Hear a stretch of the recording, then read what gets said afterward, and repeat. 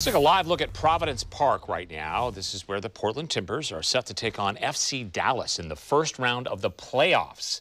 That match is set for Sunday at 7 p.m. The Timbers uh, head into this match in third place in the West. Dallas is a couple places behind in sixth. Ahead of the big match, it's a major honor for midfielder Diego Chara. MLS named him the league's best 11 to the best 11 team, I should say. Chara led the Timbers in minutes played while scoring one goal and a career high six assists. This is the first time that he's been named to the best 11 in his 10 seasons with the Timbers. Fox 12's Nick Krupke asked Chara about the honor today on Zoom. I think it's a award for my uh, hard work and uh, to my performance in every game. Um, I feel really happy. I think this came in the right moment.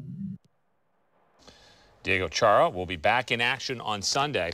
Again, the Timbers are set to take on Dallas in the first round of the MLS playoffs.